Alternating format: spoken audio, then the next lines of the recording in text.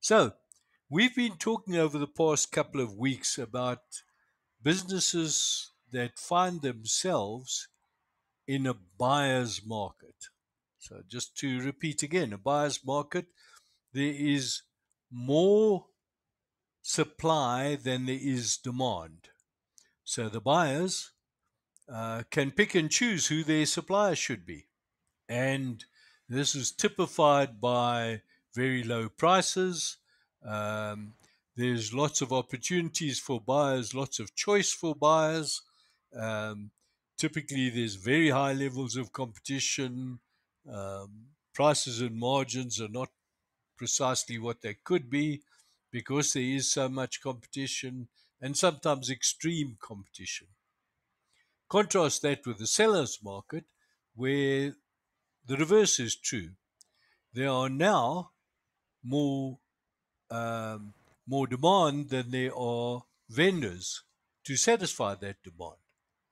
So um, we have buyers who are clamoring for products and uh, uh, seeking out sellers, and in some cases begging for them to sell to them.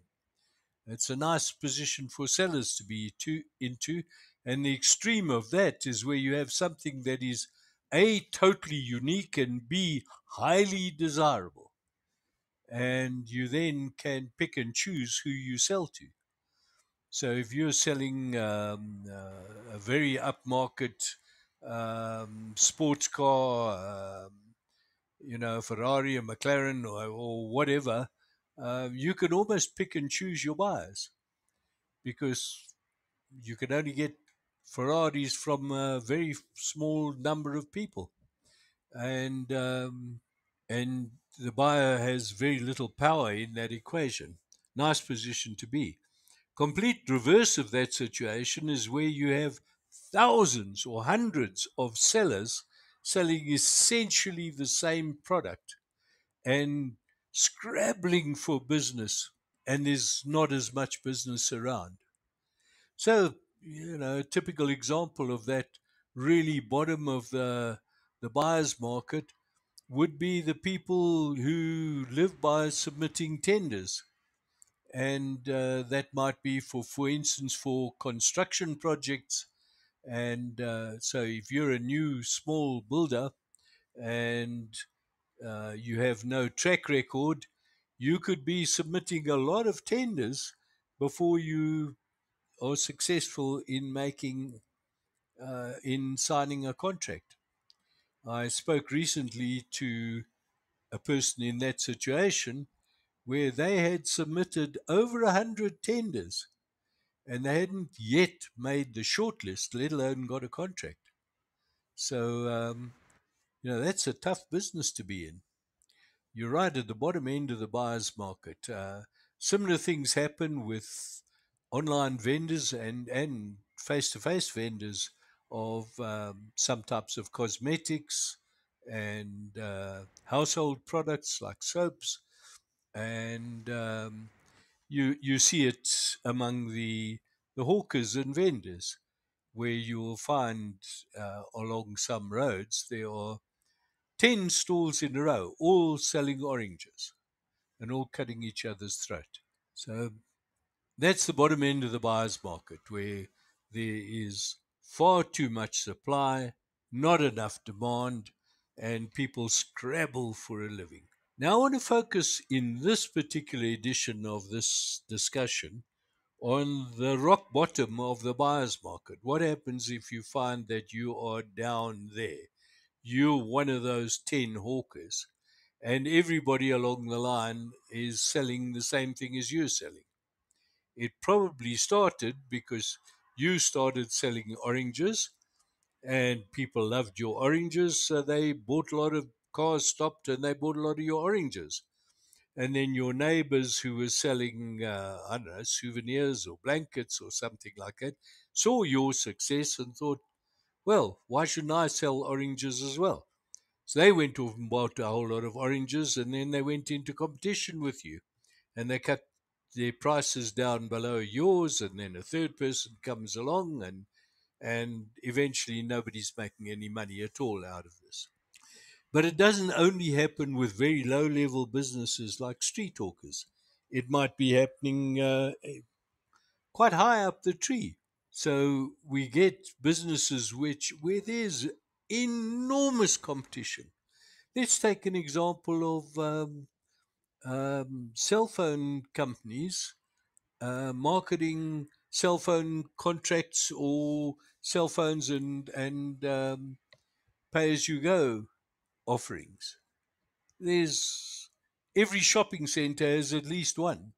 Some of them have two or three, and um, they are all in competition with each other. The prices are all roughly the same. Now, you know, how do you survive in that? You you have to give away a lot of advice, a lot of free advice, uh, because people come to you and say, "How do I do this on my phone?" And you know, you can't very well turn them away, or you can't say there'll be a charge of a thousand rand for that, because they just won't ever come back to your shop again. And in many of these cases, they make their money by simply selling all the accessories. You might find the same thing with filling stations. In some areas, there's filling stations all over the place. Um, there might be three or four, or even more in walking distance. And there's only so much traffic in that area. So the filling stations also have to supplement their income, and you'll see that they will all have a car wash and a, and a, shop, a 24 hour shop, and uh, possibly some other services associated with that in order to increase their sales and therefore increase their profitability or make profit out of it. So it doesn't have to be the bottom end. It can be some quite high, some very expensive businesses. If we consider something like a fast food franchise, we've got um, uh, in many shopping centers, we have uh, uh, one or two pizza places, we have uh, um, a burger place at least, and maybe two of them, and they are competing against um, some of the big retailers, food outlets who also sell fast foods in some respect, and and they they find themselves in a very competitive market especially if they're up against one of the very big players who spend a large amount of money on advertising and promotion and have a big following. So people just naturally gravitate to them. And you can see this if you go around uh, to the various shopping centers, shopping malls. Um, you'll see that there's a, a very popular pizza brand that's usually very, very busy. But there might also be um, and a popular burger brand that's very, very busy. Um, but there might also be a uh, Chinese takeaway or a, uh, an Indian food takeaway or, or curry takeaway. There might be a uh, health food takeaway. Um, and all of these are in competition for that very scarce rand uh, that people are spending on instant meals. And some of those franchises are horrendously expensive. You have to pay very large amounts of money, and then you're paying quite high rentals to be in a big shopping mall, and you have high costs and if you are in a competitive situation, it's tough to make money out of many of these, which is why we often see uh, failures among some of the the fast food places, sadly. So across the board, it can be the biggest or it can be the smallest. How do you, once you're down in that ultra competitive mode, where there's literally people next door to you selling the same or an alternate product that is in competition with you, perhaps at a different price or perhaps with a massively enhanced advertising and promotion budget, how do you compete? How do you find your your way to make profit out of all of that. It's a very difficult situation. And you you may well simply just get your head down and say, I'm going to do the best that I can.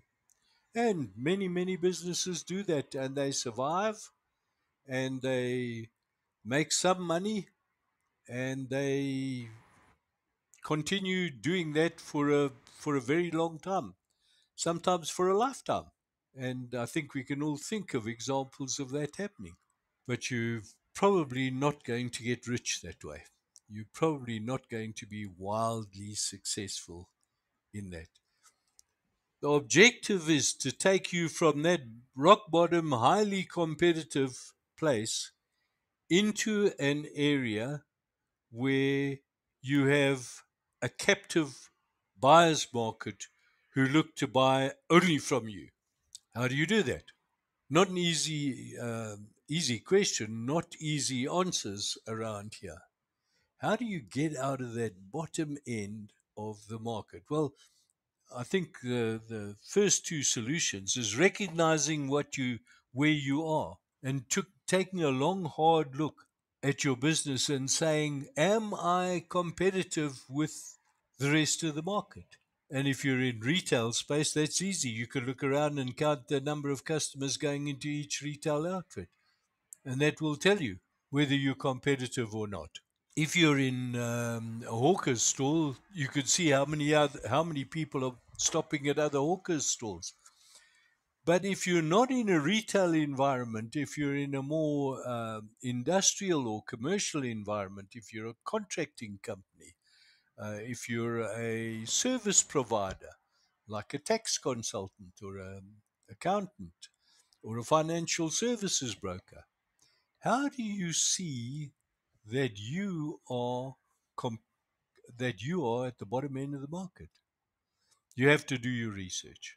And I'm afraid one of the things that entrepreneurs are not very well known for is taking a step back and being thinking strategically and saying where exactly are we in the marketplace right now not hard to determine the figures are generally speaking fairly easily accessible all of your competitors are going to be on the internet you could um, all of them are going to be in social media in platforms like LinkedIn.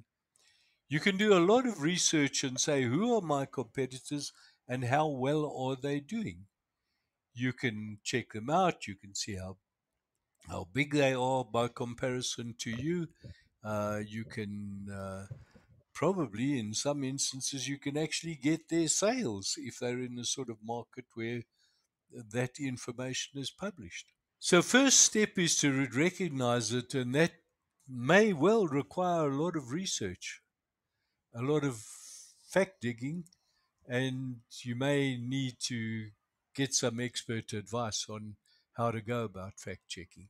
And then the second step in getting out of that hole is is an old rule that says if you find yourself in a hole First, stop digging. Don't make the hole deeper. That's a good one.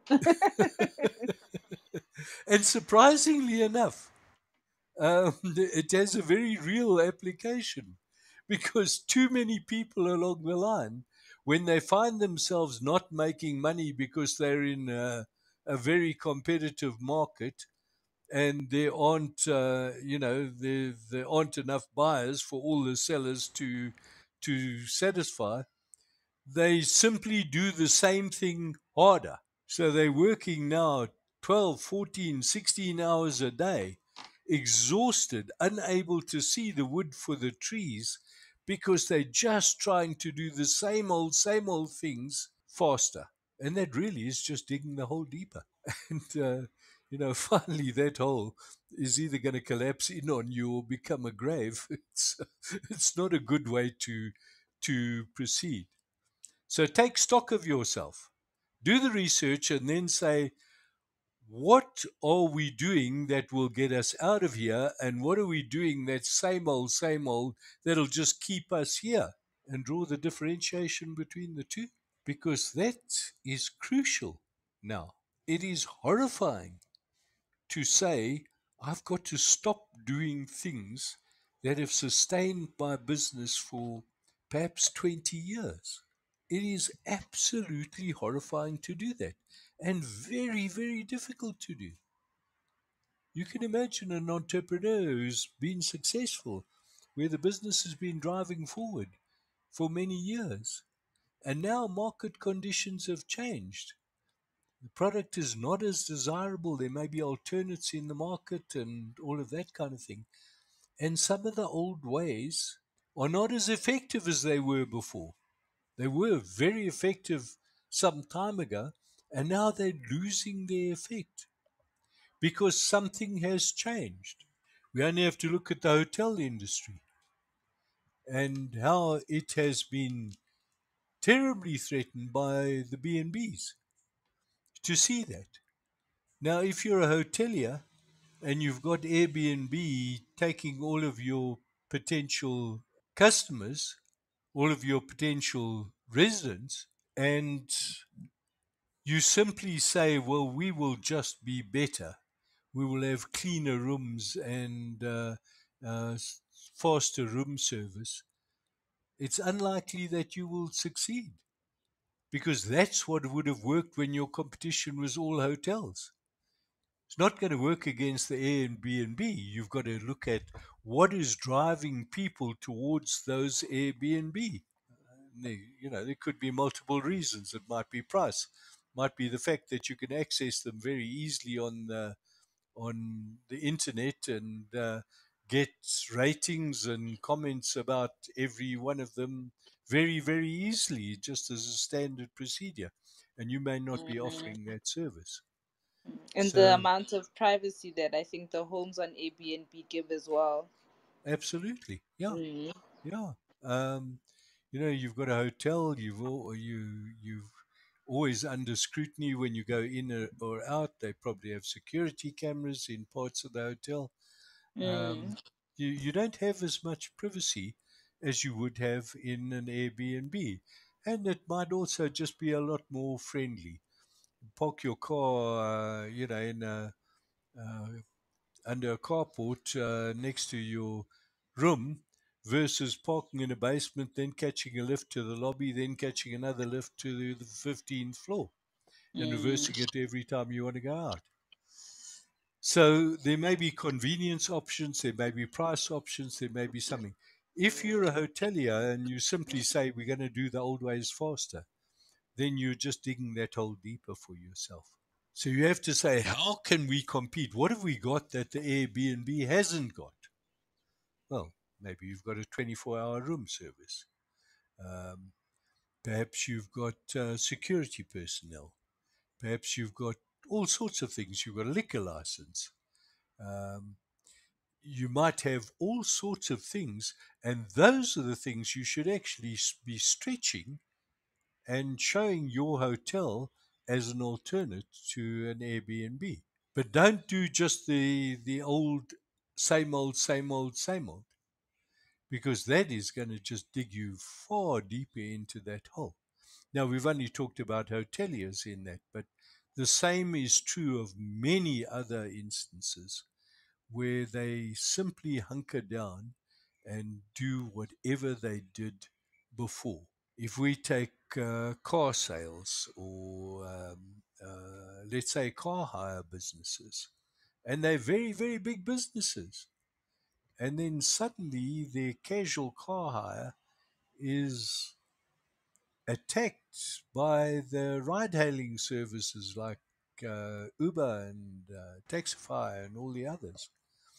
And their short term rentals fall like a stone.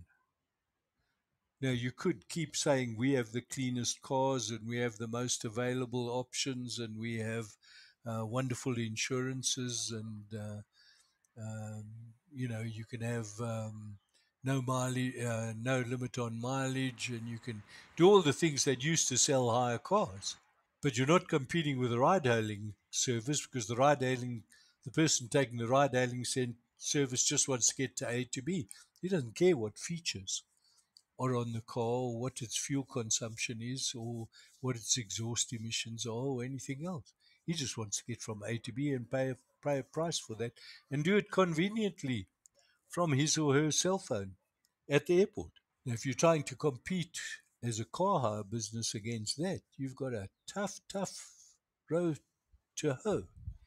You're going to have to find ways of changing. And of course, what's happened with the car hire companies is to a large degree they've uh, switched their their thrust from short-term hire to longer-term rentals, where they rent out to companies over extended period of time, which is for them still a very profitable business. But that means that they are now impacting on the car sales businesses because instead of buying vehicles, you just rent cars from one of the car companies for an extended period of time.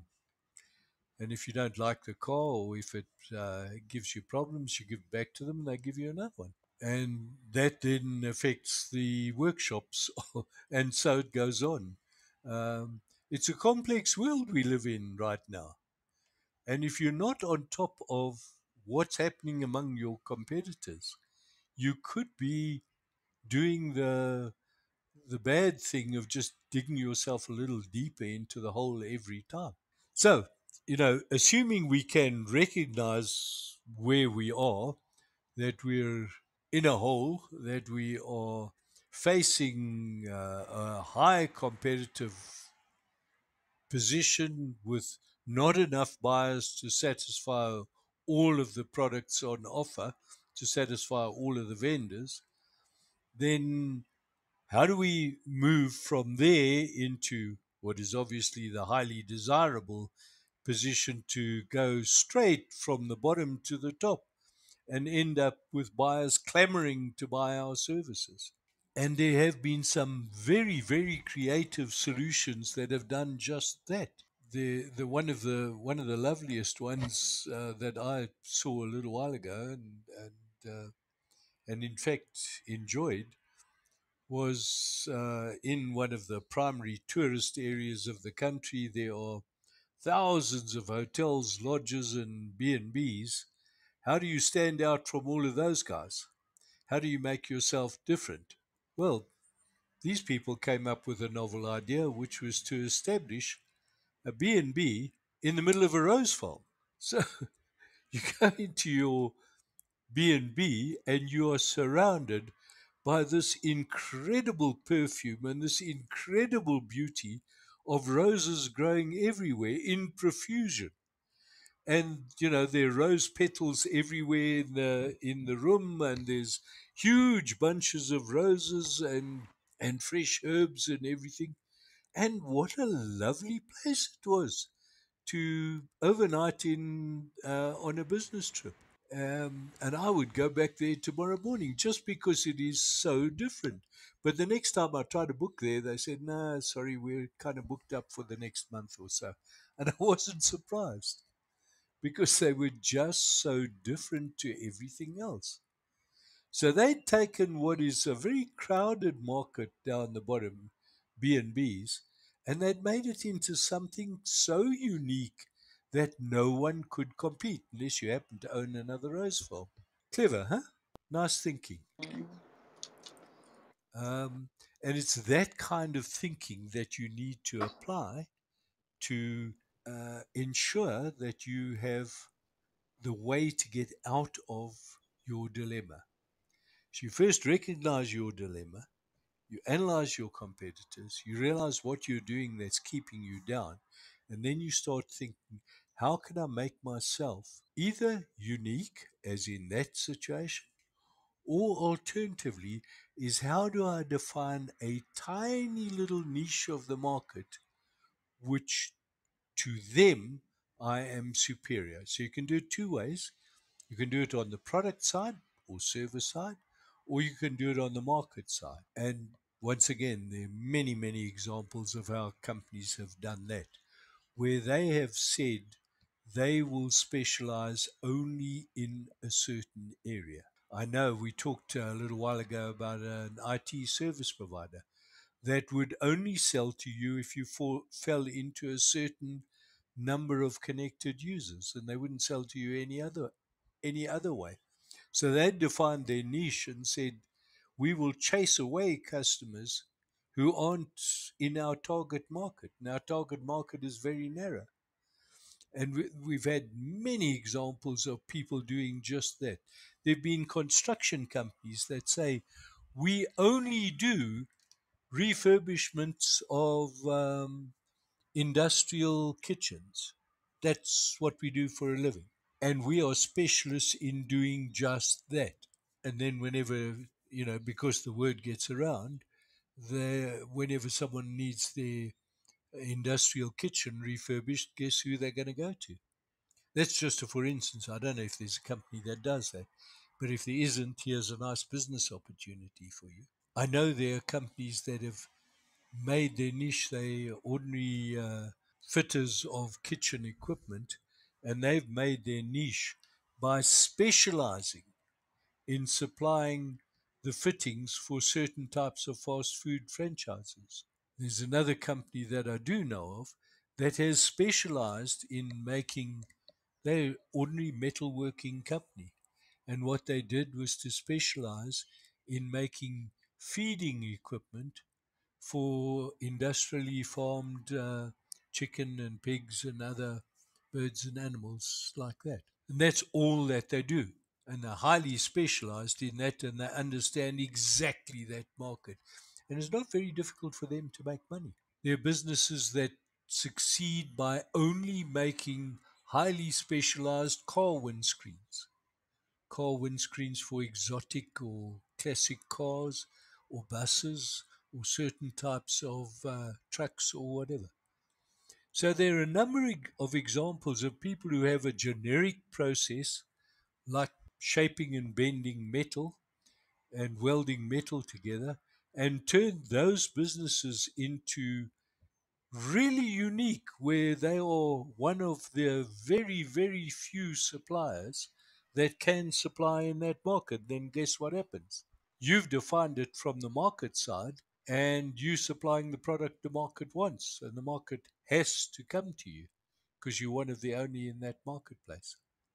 So, a couple of ideas there. I think what we're going to do next week is to explore the other end of the market and say, how do you get there and how do you stay there? So, um, thank you to everyone who's been listening, and thank you to the people who will pick up the podcast later. This uh, series is podcast. We'll be putting it out on all the social media. And um, we hope that you found some ideas in this where you could drive your businesses further forward and make lots of money. So that's what we're interested in you doing. Have a great week ahead.